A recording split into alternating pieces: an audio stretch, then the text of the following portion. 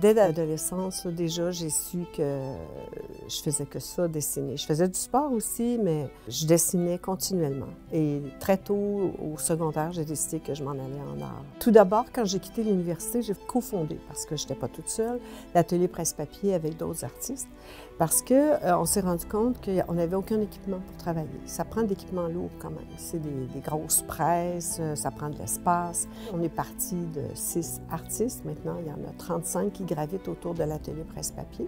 Cet atelier-là est maintenant une salle d'exposition. Donc, on, organise une dizaine d'expositions par année, des artistes qui viennent de partout. On travaille sur une plaque de cuivre ou sur euh, une plaque de zinc et en fait, la plaque devient comme un miroir, donc on se voit carrément dedans. La Biennale d'estampes, en fait, euh, la première édition eut lieu en 1999.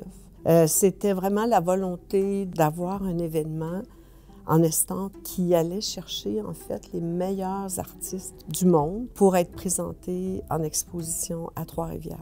Dans un événement, pendant deux mois et demi, pendant l'été, Bien, les gens qui vont voir l'exposition sont en contact avec des artistes du monde entier. C'est vraiment précieux. Qui font rayonner aussi pas juste l'événement, mais aussi la ville. Puis pour moi, ça, c'est important.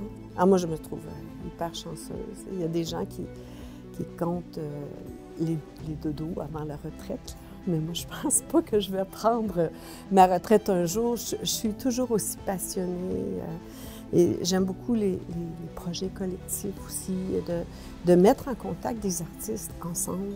Euh, quand le maire m'a téléphoné pour m'annoncer que je recevrais l'ordre de la véranderie, moi j'étais super étonnée, dans le fond, surprise, honorée d'abord, parce que ce que j'ai fait, dans le fond, au niveau de la, de fondation de l'atelier presse-papier, même de la Biennale de Stamp, je ne l'ai pas fait toute seule.